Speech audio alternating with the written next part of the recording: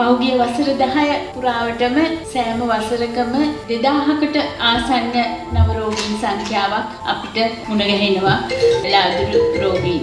මේ අයගෙන් සියට හතලිස් එකක් පස්නාහිර පලාතෙන් තමයි වාර්තාාවෙන්. එත් එක්කම අවුරුදු පහළවට අඩු ළමුන් මේ අතර සියට දහයක පමණ ප්‍රතිශතයක් ඉන්නවා.